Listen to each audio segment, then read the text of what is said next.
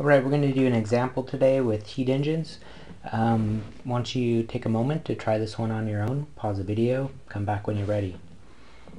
So the way I like to model the engine is just to say we have our kind of hot reservoir here, uh, QH, and in this case it gives you the temperature. This is going to be 1000 degrees Kelvin. Then we have our cool temperature over here, I'll call that QC and this one in this problem is 400 degrees Kelvin.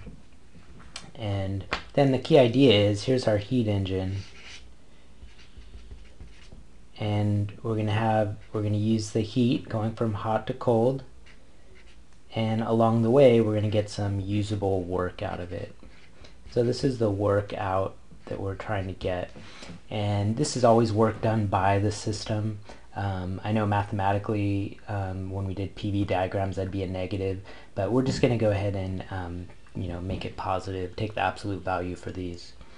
So let's go ahead and do this. So the first thing is it's a Carnot engine and it's just asking uh, about the maximum possible efficiency. So remember the efficiency, the maximum possible efficiency, and we often write that as EC. This is the difference between the high temperature region the low temperature region subtracted by the high temperature region. Um, and yeah, we'll just go ahead and take a look at the difference here. So we went from 1,000 to 400. And we'll just go ahead and divide by 1,000. Notice that's going to give us a 60%. So again, what this is, is, telling us, this is the max possible efficiency that this engine could could have. All right. Um, notice the only way you could get 100% is if your low temperature region was at the um, zero degrees. If this was uh, absolute zero, right? And so we know that's impossible, so you would never be able to get that. All right, let's go ahead and try letter B. So letter B saying uh, maximum amount of work. So if we are operating at 60% efficiency, how much work could we get? So remember the kind of the definition of efficiency is output versus input. So this would be the work that we're putting out. The heat that we're putting in would just be our high temperature region.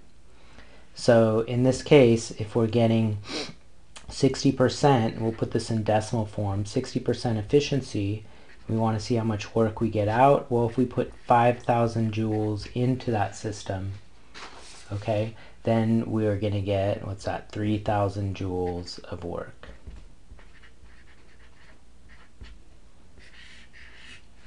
Okay, so kind of conceptually what we're showing here is, uh, all right, we started with 5,000 joules up here, and then that turned into 3,000 joules of work, right? And so that's, you know, 3 over 5 is going to be 60%. That's how what our efficiency is in this case. So notice when we take a look at letter C here, letter C is then saying, well, how much is going into that cold reservoir? Well, take a look here. I mean, you don't even really have to do uh, complex math here.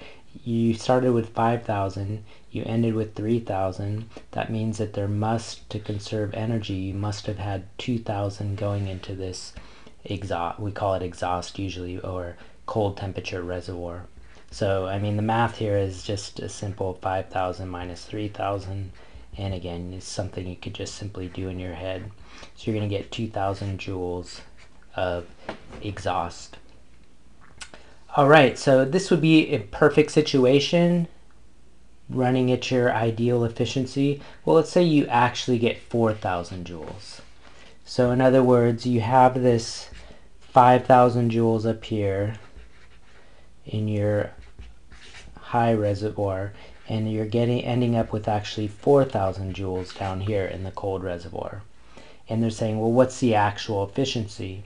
Well, notice in this case, your work would then be only 1,000 joules.